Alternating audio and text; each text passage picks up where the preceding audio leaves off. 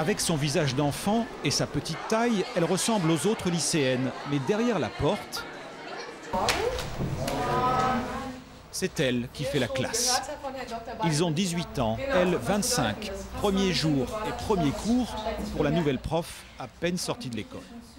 Naturellement, beaucoup me disent Tu as l'air si jeune.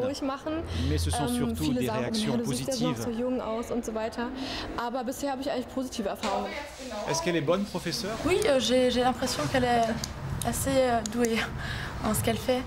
Comme tous ses collègues, Christine enseigne deux matières. Mais cette rentrée, c'est aussi une découverte, celle de l'école de la diversité, avec sa nouvelle classe à l'image de Berlin. Je viens de passer mes vacances en Turquie. C'était très différent. Je dois me réadapter à la vie allemande. Le retour à l'école est un peu difficile. Cette école publique attendait trois nouveaux professeurs.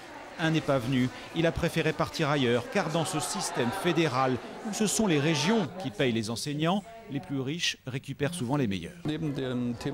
Dans certaines régions, les professeurs peuvent même devenir fonctionnaires, ce qui est très intéressant.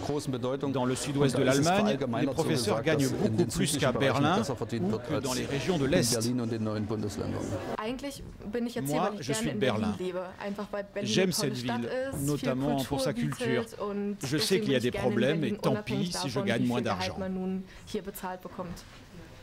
Il y a l'école le matin, de plus en plus critiquée, le niveau scolaire pas assez élevé. Pour Christine, cela reste le plus beau des métiers et elle compte désormais relever le défi.